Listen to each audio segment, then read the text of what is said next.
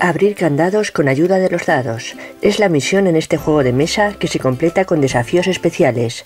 Cuenta con reglas rápidas y sencillas. 46 cartas de objetivo, 4 cartas de desafío, 4 cartas de reglas y ayuda, 5 dados de colores. Antes de empezar, barajamos todas las cartas para repartir dos objetivos por jugador. Permanecerán visibles en su lado de la mesa. En partidas a 2 y a 3 es recomendable retirar 10 cartas del mazo. Los dados se colocan al alcance de todos. Debemos saber que cada objetivo tiene un candado, que solo abriremos cumpliendo con los requisitos marcados. Se nos pedirán determinados resultados, parejas, tríos y escaleras, entre otros retos. El turno de cada participante comienza con el lanzamiento de dados dispondrá de hasta tres tiradas para quedarse con los resultados definitivos, pudiendo conservar aquellos que desee para cumplir con uno de sus objetivos. Solo podrá completar uno por turno.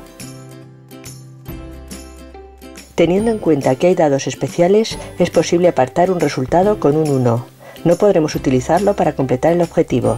Si es el 1 blanco el que hemos guardado, podremos volver a lanzar el resto de dados.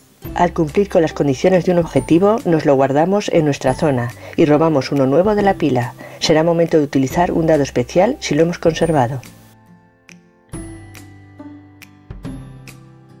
Un 1 verde permite robar un objetivo del mazo y uno rojo a un rival.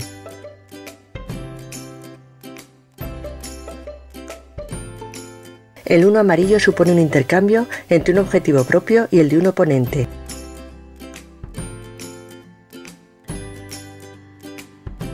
El 1 azul se utiliza para retirar todos los objetivos en juego y volver a repartirlos empezando por el de la izquierda.